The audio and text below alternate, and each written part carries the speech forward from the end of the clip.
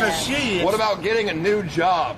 I can't do it. Can't. PTSD, heart condition, oh, dude. Oh, shit. Yeah, everybody can't like work. A,